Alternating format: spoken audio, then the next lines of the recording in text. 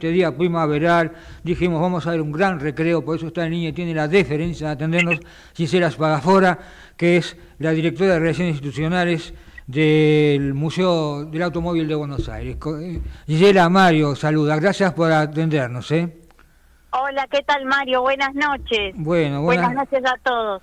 Bueno, este, nos eh, vimos esta tarde, ya vamos a ir comenzando a ver las imágenes, mientras también vamos a establecer otro contacto, vamos a hablar y darle la prioridad también a las damas, obviamente, porque hoy se inauguró, ya vamos a ver las imágenes, ahí estuvimos presentes, una nueva edición de Autoclásica, ¿eh? este 2024, este, una edición de esta exposición que se desarrolla en el Boulevard del Hipódromo de San Isidro todo este fin de semana, a lo largo de todo este fin de semana, viernes, todavía queda sábado y domingo. Bueno, Gisela, eh, cuéntenos qué ha llevado hoy el Museo del Automóvil, que ahora vamos a ir viendo las imágenes en forma rotativa, en donde está también el frente de vuestro stand ahí en el bulevar principal de, Autoclásica, Gisela. Sí, ¿qué tal Mario? Bueno, buenas noches a todos. Eh, y otro año más estamos presentes en Autoclásica. Este, para nosotros es un orgullo muy grande y la verdad que bueno, en esta oportunidad estamos presentando bueno una pantera de Tomaso, estamos presentando un Fiat, tipo de 510 eh, eh, del año 1918. Eh, también tenemos nuestra Tulia GT este, para que la gente pueda este, ver y recordar que bueno es un auto que fue un desarrollo un diseño de Tulio Crespi que justamente me estaban comentando que mañana va a venir de visita a la exposición Tulio. Ahí está, en este, en este momento está la imagen del Museo de Automóvil, eh, la imagen de ustedes, este, con el, Fiat y a la izquierda está la, la, Tulia. Sí, sí, sí. Ahí es, este, estuve sacando hoy algunas fotos y la verdad que fue un trabajo que estuvimos haciendo durante durante un tiempo, después, bueno, también después lo que conlleva armar el stand, que este año es más grande, el stand del museo, la gente viene, nos felicita, la verdad que estamos muy contentos porque también este museo, nuestro museo es un museo que no, no tiene ningún tipo de subsidio ni nada y la verdad para mí es, un orgullo gran esfuerzo en general ver que la, eh, Autoclásica cada año es más importante no solamente en cantidad de automóviles, en calidad. sino que hoy hablaba en la carpa del club también el nivel de restauración de los autos, porque también hay un comité que eh, evalúa. Evalúa, evalúa y eso es, algo fundamental. Mucha gente, este, hay veces que uno se cruza y dice, ay, yo quiero presentar mi auto, pero no Ahí hay que llevar fotos, lo tienen que evaluar. No, además, lógicamente la muestra sea muy importante. Además, yo, que estuve del otro lado del mostrador también durante tres años, es cada club que elige a los autos que va a presentar, ¿no es cierto? O sea, ese, es el primer filtro, ¿no? Exacto, es un es un este bueno como tiene que ser las las cosas tienen que tener pasar por un por una comisión que, los elija que los apruebe para que estén presentes. no, no, se vaya. Está el, eh, nuestro otro interlocutor no Gerardito sí bueno no se vaya de línea eh. no no no. En la, otra línea está Fernando Bisone que es vocal miembro de la comisión directiva del Citroën Club Buenos Aires estamos en imagen justamente en este momento con el frente del stand Fernando Mario saluda, ¿cómo estás? ¿Qué tal Mario? Buenas noches, ¿cómo te va? Bien, bien, bueno, en el otro lado tengo a Gisela Espadafora, del, directora de Relaciones Institucionales del eh, Museo del Automóvil. Bueno, este, Fernando... ¿Cómo no la conozco? Eh, eh comentanos qué, está presentando en este momento el Citroën Club Buenos Aires. Estamos viendo imágenes eh, a los 90 años del, del tracción avant, como le decían en Francia, ¿no es cierto? Sí. Sí, efectivamente, Mario, este año eh, se cumple el 90 aniversario del Traction Avant, eh, conocido por muchos también como Once Liger, Once Ligero. Acá en Argentina sí. Y nos hemos abocado a justamente convocar a, a, dueños, miembros del club, dueños de Traction Avant. Hemos reunido 13 exponentes entre el, el 15 Six, el 11 y el 7. 13 nada menos, mirá vos. Eh, yo, yo hice una imagen de, de, perfil, la verdad, es increíble. Hay una cosa que es reiterativa, tanto se lo comento a Gisela y, y tú lo sabes muy bien, pero la gente, como el público se renueva, decimos nosotros, como dice la chique, este, en la Argentina hay una cantidad muy grande de autos clásicos que se han preservado. En este momento hay un no se ligero blanco. ¿Por qué?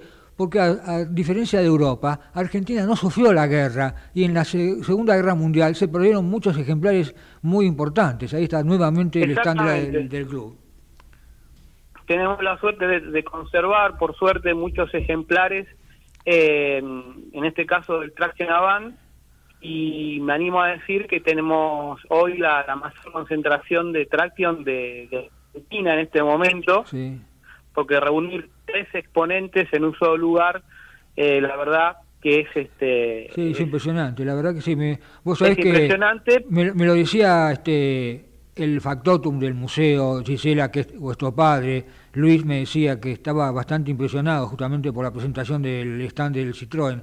Y si hay una palabra autorizada para hablar de esto es este es Luis, ¿no es cierto? Sí. Este, sí, efectivamente. Gisela, este en qué otro proyecto están? Ustedes tuvieron un proyecto muy, muy importante, los pusieron, que era nada más ni nada menos que la restauración del Cadillac presidencial de, Perón, ¿no es cierto, Gisela? Sí, sí, sí, sí, exacto.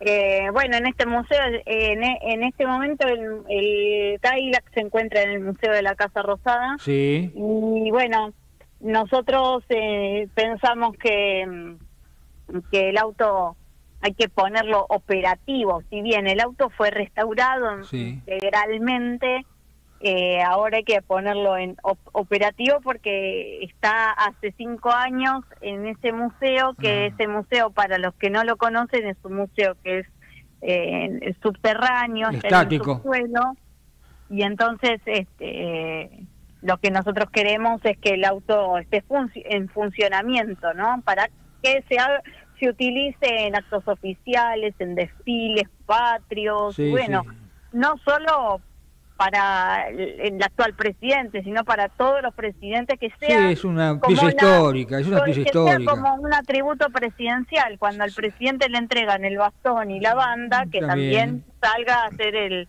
el desfile o, salga mm, este, de de Congreso a Casa Rosada eh, eh, a bordo de, de, este auto que es, patrimonio nacional, es, es, de todos los argentinos. Creo que vamos a coincidir también con Fernando, ¿no, este, Gisela? Que en rigor... este Por ¿Quién, no recuerda el Cadillac no, presidencial? Además, un automóvil es como, en algunas medidas, es como un organismo humano. Hay que moverlo, hay que hacerlo funcionar, si no realmente se va deteriorando, ¿no es cierto? Exactamente, exactamente es muy es muy difícil en estos días porque tener operativo, como dice Gisela, un auto de, 70 o 90 años, como en el caso del Traction.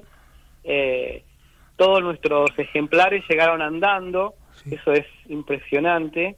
Están todos este, circulando. No en plancha, Han venido desde San Andrés de Giles, han venido hermanos uruguayos. Mira. Tenemos representación de Uruguay. Eh, en el, club, tenemos dos ejemplares y vinieron en, la balsa, en el barco desde Uruguay, desde Montevideo, y eso es muy significativo para nosotros. Exacto. Bueno, la verdad que ha sido una jornada, yo este, estuve desde el mediodía, este, vamos a ir este, compartiendo, porque las imágenes que yo fui tomando se van renovando cada 10 segundos con ustedes, vamos a ir recordando en estas que estamos viendo en este momento es justamente en el CUR central, digamos, en el lugar, en la rampa central, donde había un viejo vehículo. Esta es la fachada por la avenida, ¿no es cierto?, la entrada principal, una de las entradas principales. Este, y además este ahí estamos también con este el, el presidente del Club de Autos Clásicos que organista, Ricardo Batisti, estuvimos con quien además hace dos meses atrás también este, hicimos la nota anticipando esta nueva edición de la Clásica, ahora está el Automóvil Club Argentino, estuvimos ahí en esa, suerte de living con Jorge Revelo también, que es vicepresidente segundo, que además, dicho sea de paso, del Automóvil Club Argentino, que en horas más, este fin de semana, se largó una nueva edición, la vigésimo primera, del Gran Premio Histórico, ¿no es cierto?, que va a ser un recorrido muy interesante, Buenos Aires Junín, Junín Santa Rosa, Santa Rosa Neuquén, Neuquén San Martín de los Andes y vuelta a San Martín de los Andes, Neuquén, Bahía Blanca, terminando en Mar del Plata. Es uno de los recorridos más interesantes de esta suerte de carrera de regularidad, pero que también es una suerte de museo itinerante, ¿no es cierto? 3.500 kilómetros, no es poco para estos este, autitos que tienen muchos, como ustedes dijeron, 60, 70 años. Va a ser muy, muy interesante. Seguro, seguro sí, Mario, correcto. Bueno, y también ahí, ahora está en pantalla, este eh, Mario Suárez al lado de uno de los tres torinos originales de Nürburgring, el número 2. Que dicho sea de paso, Mario me dijo que junto con el número 1 se lo han pedido porque lo van a exponer en la largada del Gran Premio Histórico, el 1 y el 2, ¿no es cierto? Así que realmente este, vamos a reiterar, este, ustedes cualquier cosa me corrigen, eh, el horario es eh, arranca a las 10 de la mañana, todavía está queda sábado y domingo, ¿no es cierto? De 10 a 18, correcto, Mario, hasta el domingo inclusive. Así, ah, bueno, y obviamente que es un paseo que hay que aclararlo con detalle, para ir tranquilo, es un recorrido que lleva no menos de tres horas, y para las familias, además hay que recordar que hay todo tipo de facilidades, sanitarios, eh, eh, de todo. Bueno, Gisela, ¿me olvido de algo podemos agregar algo más? No, no, no, la verdad que es bastante amplio, amplio toda la explicación y bueno, que la gente no se la pierda, esperemos que el tiempo nos acompañe y mañana es la premiación que tengan en cuenta que este año no es el domingo, sino el sábado. Mañana. Es, un evento que me parece como que está tan tan hermoso, ¿no? Pues están las tres fuerzas, viene Patricio, viene la Fuerza Aérea. Eh, la verdad que es, un, un, espectáculo para la gente que es algo inolvidable. Hay actividades para los chicos. Sí, Cada año el Club de Automóviles Clásicos este, organiza autoclásica y la verdad que y déjeme agregar algo. magnífico, magnífica la, organización, la están preparando durante termina una autoclásica y ya están preparándola para el año siguiente y cada año superándose más. Eh, déjeme añadir algo más, volver Gerardito a poner el, el sinfín de imágenes, que en el stand del Automóvil Club también hay una foto mía, yo me atreví a sentarme hay un simulador similar a los que usa este Franco Colapinto, nuestra esperanza, ¿no es cierto?, de, después de tantos años, este, eh, concretó la primera, eh, el primer logro de puntos en Fórmula 1 después de aquellos últimos que logró el Lore Reutemann, tan a veces este, mal reconocido Lore Reutemann. Creo que justamente ahora vamos a ver esa imagen donde está justamente este, me, atreví a sentarme y a hacer una, ahí está, ahí estoy, este, este, atrevido, este, sentado en ese este, simulador que es este, apasionante también. Bueno, ah, en el stand del Automóvil Club Argentino hay un Morse que restauramos nosotros, que el Morse vendría a ser como el antecesor del, del Citroën, ¿no? Ajá, ajá, El Morse. Y, y bueno, ese lo restauramos nosotros en el museo, porque nosotros hay, hay en algunos casos hacemos restauraciones para otros museos. Está bien. Y en este caso, bueno, eh, también el Automóvil Club Argentina es un museo amigos que, que, bueno, le restauramos este auto a pedido de las autoridades. Bueno, Gisela. Es un ejemplar espectacular el Morse. Está en un estado increíble. Sí, bueno, muchas gracias. Realmente una belleza. Bueno, Gisela, Fernando. Sí, y no hay otro, la verdad que ah, por, por lo menos es el único que he visto hasta el momento. Seguramente que sí, es el único del país, seguramente. Sí, sí, sí. por lo menos.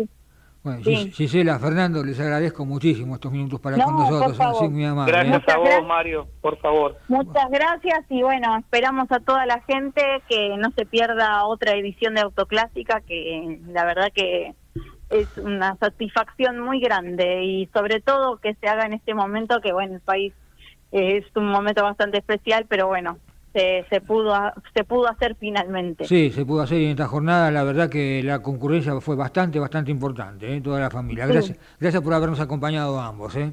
No, gracias a, ustedes. Mario. ¿eh? Un gran abrazo a ambos. Buenas noches. Bueno, ahí estaba, por una parte Gisela Spagafora, la directora de Relaciones Institucionales y Comunicaciones del Museo del Automóvil de Buenos Aires, que está en la calle Irigoyen, no Hipólito Irigoyen, ni Bernardo Irigoyen, la calle Irigoyen, a solo cinco o seis cuadritas de Beiró y General Paz. No se lo pierdan en el museo. ¿eh? Y por otra parte, Fernando Bisone, vocal del Citroën Club Buenos Aires, que eh, en esta edición de Autoclásica está exponiendo nada más ni nada menos que 13 ejemplares a 90 años de su primer lanzamiento del Tracción Avant, o como se conoce en la Argentina, el Once Ligero.